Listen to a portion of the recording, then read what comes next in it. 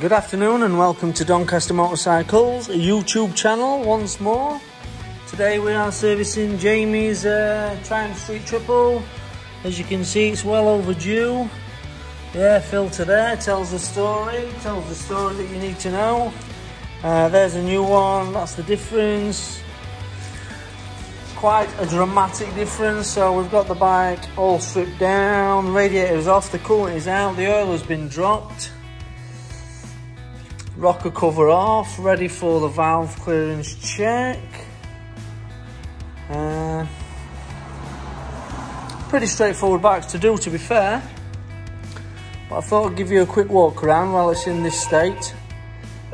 And uh, you can see how far down we do strip them.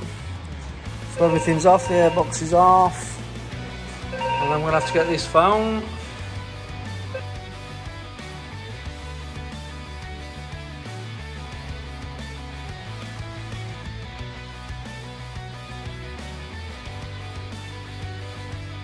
So I'm back. Right, so what do we do? So the air filter will be replaced, new spark plugs, valve clearance check, new coolant, oil and filter. You get uh, brake fluid flush, so we get fresh brake fluid, front and rear, chain adjustment, lubrication, tyre pressures. We check your brake pads. Make sure your forks and your steering head bearings are all working as they should, all smooth and silky. Um, what else have we, have I missed anything? So we make sure obviously all your lights work and all that's tip top. Everything, every pivot point's lubricated as well, which means your levers, your footrests, etc. Uh, pretty much covers the sort of basic idea of the full service. It's quite labour intensive due to the valve clearance check, especially if any need adjusting. That does add quite a bit of time to it.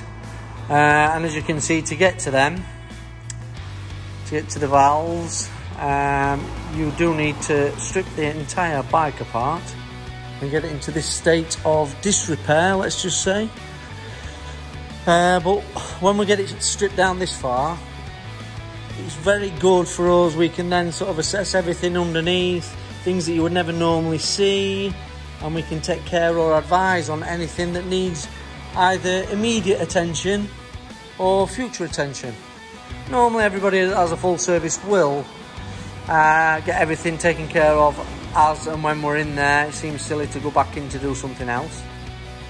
Uh, so I think that pretty much gives you the lowdown and the idea of what's involved.